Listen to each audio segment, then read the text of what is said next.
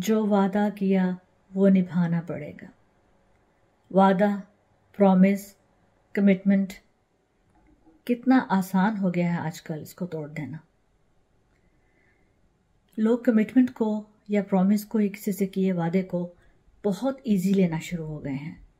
यानी कि कोई बात नहीं, किसी से वादा किया, पूरा किया किया नहीं किया तो कोई बात नहीं डजेंट मैटर और इसमें उनको कोई एम्बेरसमेंट भी नहीं होती है।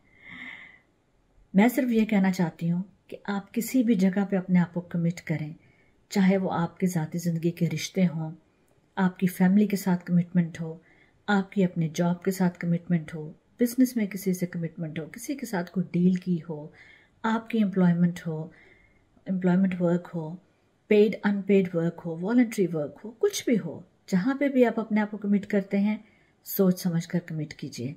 और अगर कमिट करते हैं तो फिर उस कमिटमेंट से पीछे नहीं हटिए लेट डाउन नहीं कीजिए। हाँ सर्कमस्टांसेस चेंज हो जाते हैं, वो बिल्कुल अंडरस्टैंडेबल है, लेकिन बहुत से लोग जो है, वो शुरू में बहुत बड़ी बातें करते हैं प्रोमिस करते हैं, और बाद में वो अपनी बातों पर पूरा नहीं उतरते। सिर्फ़ इस चीज़ को, इस आदत को ख़त्म करना चाहती हूँ मैं कम्युनिटी से कि अगर आप किसी जगह पर कमिटमेंट करते हैं तो पूरा दिल लगा कर कीजिए। काम कीजिए तो दिल लगा कर कीजिए, मोहब्बत कीजिए तो दिल लगा कर कीजिए, पूरी कमिटमेंट के साथ कीजिए। Take care of self